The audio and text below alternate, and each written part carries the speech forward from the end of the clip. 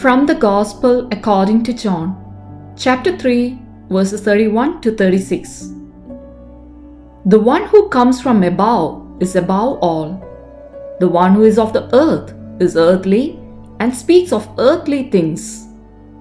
But the one who comes from heaven is above all. He testifies to what he has seen and heard, but no one accepts his testimony. Whoever does accept his testimony certifies that God is trustworthy. For the one whom God sent speaks the words of God. He does not ration his gift of the Spirit. The Father loves the Son and has given everything over to him.